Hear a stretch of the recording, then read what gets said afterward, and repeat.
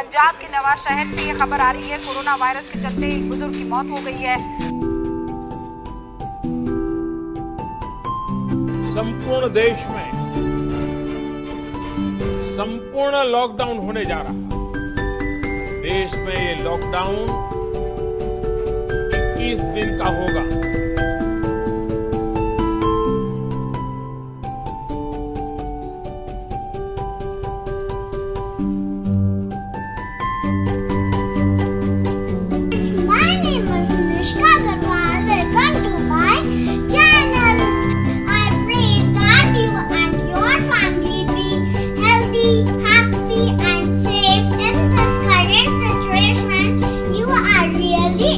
not